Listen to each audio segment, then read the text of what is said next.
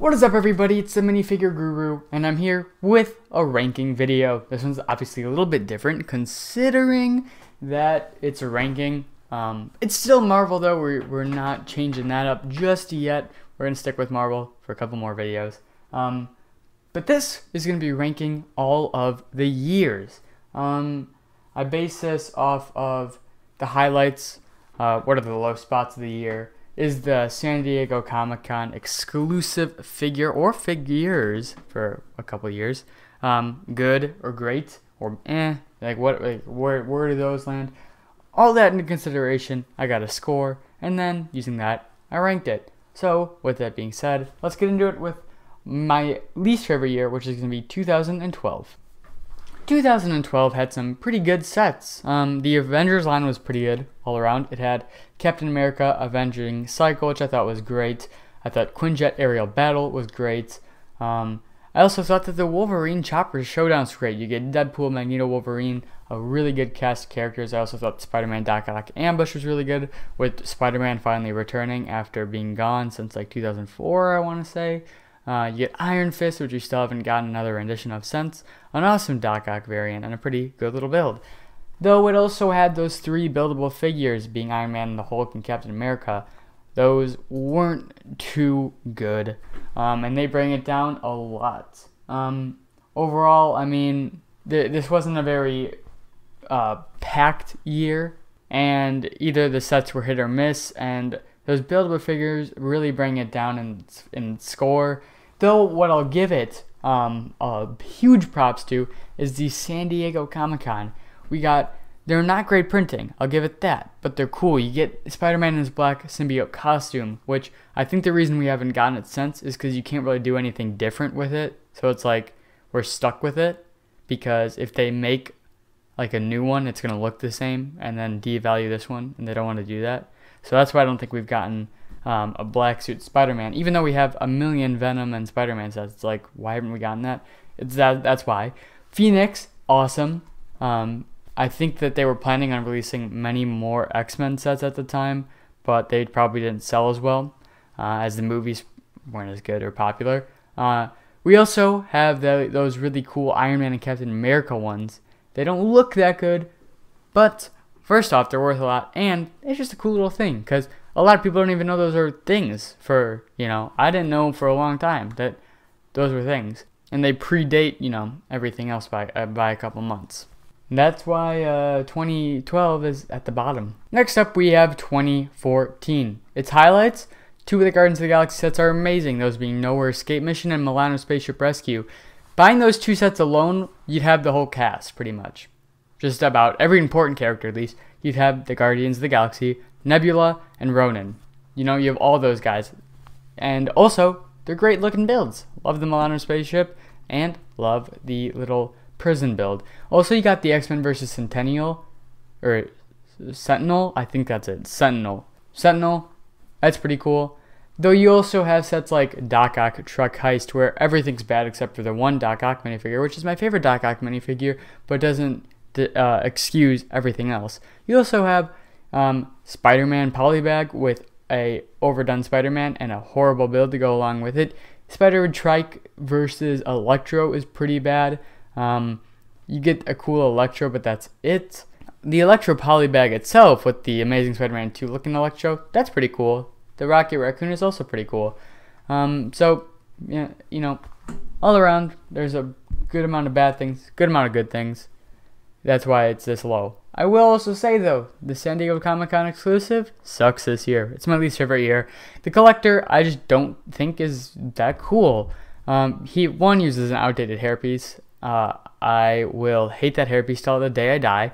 The cape is unique. The printing isn't anything too spectacular, and the collector as a character isn't someone you're really thinking of when you're thinking exclusive. You know, only a thousand people or so are ever gonna be able to hold this minifigure. It's like and you chose the collector like you know like really um you could uh this is that this is like the the the uh, comic-con is like the excuse to experiment to do like deadpool duck stuff like that i think that's that's what this is for and not just the collector. That's why I don't really like DCs because they usually use it as almost a marketing tool, as they'll put like the Atom from the show, uh, from the shows in there, or Vixen who's in the new cartoon. It's like I don't care about those characters. Give us someone cool, like when they gave us Bizarro. I'm getting off track, but that's what I feel a Comic Con exclusive should be. Next up, we have 2013. Originally, actually, this was higher than 2017, um, which spoilers probably is the next one. But in the end, I'm like, it only has nine sets, um, and only like three or four actual sets. A lot of poly bags.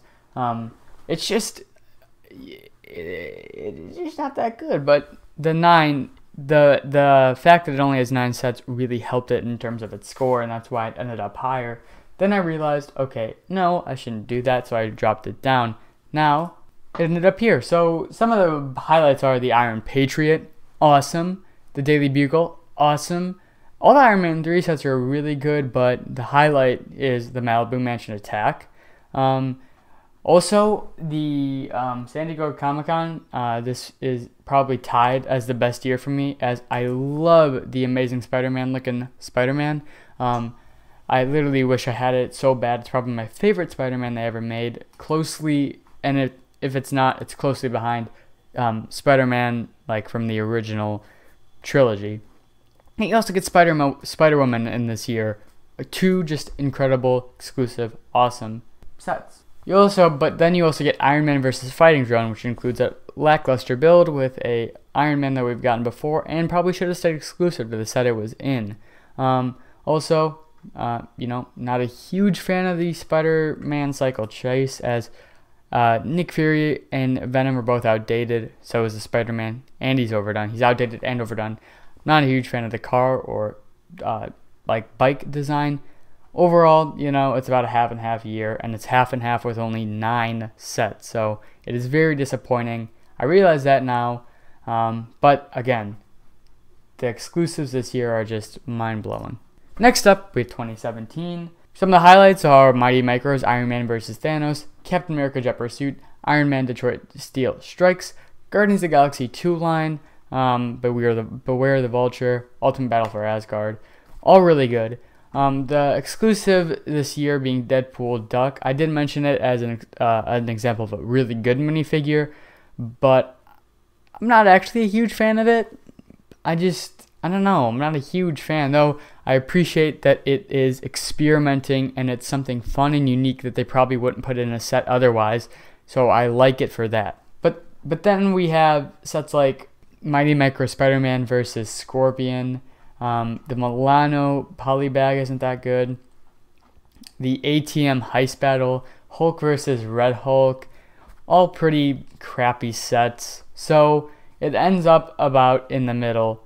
And actually, it has my least favorite set, I think, of all time, which is the ATM Heist Battle from Spider Man Homecoming, because it's such a waste of potential. Instead of getting, you know, Ned Leeds or MJ or Flash Thompson, you know, none of these people who we hadn't gotten at the time, and maybe the homemade Spider Man costume, we got the same Spider Man costume that we've now seen like five times, um, with two lame uh, extra minifigures who don't stand out at all other than they have, ooh, some cool face prints, whatever. A very crappy and not cool looking bank with a stupid looking motorcycle. I just don't like the set at all. One, bad set on its own. Two, wasted potential. Not a huge fan. That's why it's about here, mid tier. Next up, one that may surprise you 2020. 2020 has some great things like Captain Marvel and Nick Fury, two really cool minifigures. Falcon and Black Widow team up, same thing, two really cool minifigures. Um, you have Avengers Speeder Bike Attack, two really cool minifigures. Venomosaurus Ambush, great build, four really cool minifigures. Avengers Helicarrier, awesome rendition on the Helicarrier. Black Widow's Helicopter Chase, three cool minifigures. Venom Crawler is pretty good. Avengers Tower, Iron Man Army. I'm listing all these names, and you're probably wondering, so why is it like kind of low? Well, there's so many bad ones. They really fluked on about half of them, and that's why it's here. You have the Iron Man mech, the Thanos mech, and Spider Man mech. First off, the Iron Man isn't exclusive, neither is the Spider Man. Thanos is, but why would anyone want this type of Thanos? I'm probably going to get it because I'm trying to collect every single Marvel minifigure, but that's my burden to bear. Just like, you know, M&R Productions, he collects every Star Wars set, even when it's crappy, he needs it because he collects. So it's like, that's the burden we kind of take on doing this gig. And I'm going to want and need this minifigure, but not, if I wasn't trying to collect all of them, I wouldn't want at all that minifigure. Avengers Truck Takedown is also pretty bad. You, it does come with two awesome minifigures, those being Hawkeye and Captain America, but the build is so bad in my opinion. I don't know. I just can't get over it. I think it looks so dumb. Um, Vulture Truck Robbery is okay. It comes with like a okay rendition of Vulture, but every other Vul- I think this is the worst Vulture that we've gotten, um, and no one else is unique. You can say that about all the Spider-Man sets this year. To be quite honest, they're all like small, crappy builds with one good minifigure. Spider-Man versus Doc Ock, one good minifigure being Spider-Woman black and white. Menace to Mysterio, one good. Uh, I don't know. Spider Gwen's kind of good, but we've seen her before, so we're gonna pretend she's not there. Mysterio, good, but everything else, whatever. Spider Man, Spider Jet versus Venom mech. We've seen Venom, we've seen Spider Man. Those builds aren't good, but you get Spider Noir. So the, this keeps coming up um, over and over again, and it just really makes it kind of a crappy year. Also, we're not gonna get a Comic Con exclusive year this year, which is no fault to Lego. I understand that but that doesn't change that it is disappointing. Overall, looking back or looking at it, I'm very surprised that it's this low, and there's a possibility that they release two or three sets that blow my mind away, and it overtakes our next spot. I just don't see that happening. That's why it's here. Next up, we have 2019 some of the highlights here, we got Iron Man and Dum-E. We get that the Quantum Realm Iron Man suit. We have Avengers Tower, awesome little model. Spider-Man in the museum breakout. We get Nutbeats, a kind of cool version of Spider-Man, a really cool version of Maria Hill. We also have Spider-Man, Spider Crawler, awesome minifigures, Spider-Mech versus Venom, awesome minifigures, great build. Um, we have Iron Man Hall of Armor, pretty good, uh, incredible set. We have Captain Marvel and Skrull Attack, Molten Man, Hydro Man Attack. Uh, Avengers Hulk helicopter rescue is pretty good. You got the Captain Marvel and the Asis, um, which is the exclusive uh, event exclusive Captain Marvel set with Maria Rambeau and the and Goose like you know freaking out or whatever. And also you get the Captain Marvel. This is the first time she appeared. So it's pretty good, but it also has sets like Spider-Man Doc Ock Diamond Heist with a horrible Doc Ock lame Doc Worker, lame build, lame Spider Man, or overdone Spider Man, I should say. Spider Man car chase, an okay variant of Green Goblin, even though he's still the magenta one is still better. Um, Stark Jet drone attack, pretty crappy set. The Endgame line as a whole is a disappointment, but I can't really say they're bad sets on their own. But then you also have Spider Man Mini Spider Crawler. You know, again, this is we're we're up here. We mean, we're up here now. We're we're at good years, of course. I think I think every year is good. Okay, I mean, let's be honest. You get good Lego sets, it's a good year. Um, but about 2017 is when you get to a point where it's like, okay, this is actually a good year, not just a mediocre year. And so I say these things, and it sounds like I hate every year. It's it's gonna sound like that, and I understand that, but I don't. I just have to prove my point of why it's where it is, and by doing that, I have to pretty much end up talking more negative than positive. Hopefully, you understand. But you also get PS4 Spider Man. Really want it. So incredibly badly, I want this Comic Con exclusive. Um, maybe one day. But overall, really good year. Um, I think the Endgame line, looking back, was definitely a disappointment. Don't get me wrong. But pretty good. Pretty good. So, uh, yeah. 2019. Now we're in the top three uh, at our third spot ranked. We have 2015. 2015 gave us stuff like the Ultron line. Age of Ultron was awesome. You get Iron Man versus Ultron, uh, the Hulkbuster Smash, the Avengers Quinjet City Chase, Rhino and Sandman super villain team up, Attack on Avengers Tower, Ant Man Final Battle, the Shield hel- Helicarrier, the Winter Soldier, uh, the Throne of Ultron, all awesome stuff. Uh, the things that knock it back are Spider Man Super Jumper Polybag. Again, lame Spider Man uh, with a lamer build. Um, the Hydra Fortress Smash, pretty underwhelming set. It only has one. It does have three exclusive minifigures, but only one important one, that being Quicksilver. Um, overall, yeah, there's not much bad to say about this year. It's a very solid, solid year. Um, probably 85% solid. Um, yeah. Uh, you also have an awesome all new Captain America San Diego Comic Con exclusive. Um, disappointing we didn't get the wings, but it's not hard to find red wings, so who cares? It's still really cool that we got him. But the dual molded legs, the awesome printing, it's just really cool. Hopefully, we'll see something like this um, with Falcon and Winter Soldier. Hopefully, they'll make tie in sets, but I actually am. I don't know if they're going to. Again, hopefully, they usually make tie in sets now for Marvel movies. Um, and I can't remember the last time they didn't. But again, just please, like, go do, please, because it's a TV show. Um, but they are making the for Mandalorian. I'm getting off track. Um, 2015, super solid year.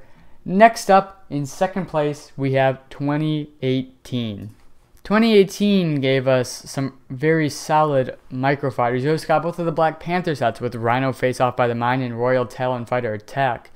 The entire Infinity War line, other than Corvus Glaive Thresher Tech, that being Outrider Drop, Dropship Attack, Thor's Weapon Quest, Hulkbuster Smash Up, Thanos Ultimate Battle, Sanctum Sanctorum Showdown. A bunch of those sets made it onto my top 20 Marvel, along with the Hulkbuster Ultron Edition, the UCS Hulkbuster. The Quantum Realm Explorers, is awesome. Um, the Bricktober pack was incredible. The Sheriff Deadpool Comic Con exclusive was pretty good. Um, though, again, its low lights were probably the Ant-Man and the Wasp um, CDC exclusive set. Nothing exclusive. Um, I think I said that the microfighters were good, but I actually take that back. I'm not a huge fan of these microfighters.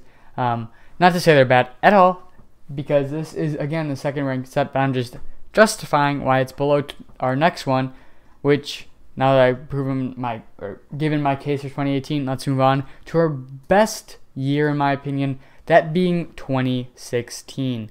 I think it only missed on one set this year, um, but the big thing is how many sets, looking back, were on the top 10 of my Lego Marvel sets. Let's go into it with the Captain America motorcycle. Great little build. Um, Spider Man versus Venom symbiote. I love it because it reminds me of Spider Man 3 when Venom becomes big for like two seconds. Uh, so I actually really like that polybag. Black Panther Pursuit, I think comes with three great minifigures, an okay build. The Iron Skull Sub Attack, four great minifigures, cool little build. I remember loving that as a kid. Avenjet Space Mission, again in my top 10, I think. Uh, definitely my top 20. I love this set. Five incredible minifigures and a very solid build. Crossbone Hazard Heist, three great minifigures, solid build. Superhero Airport Battle, my third favorite set of all time. Eight great minifigures, great builds. Um, Spider-Man Web Warriors Ultimate Bridge Battle, my favorite set of all time, came out this year. Um, seven great minifigures, great, great, incredible build. Spider-Man Ghost Rider Team Up, great. Doc Ock Tentacle Trap, great. Sanctum Sanctorum, great. The Mighty Micro, great. Tanker Truck Takedown, great. Silver Centurion, my favorite minifigure of all time, great an incredible CDC with Steve Rogers, Captain America. Literally, the my favorite minifigure and set of all time are here, along with many that made it in my top 20 and 30 minifigures and sets. Just what an incredible year uh, for Lego. And yeah, that's the video, guys. Hope you enjoyed. I know it was a bit of a longer one again, but takes a while to explain my case. Um, I'm so excited for the future of Marvel and to see where future years stack, and I like the way they're headed, to be honest. More sets are coming out uh, in these recent years, so that's awesome. Anyway, hope you guys enjoyed. I'll see you guys next time. Bye.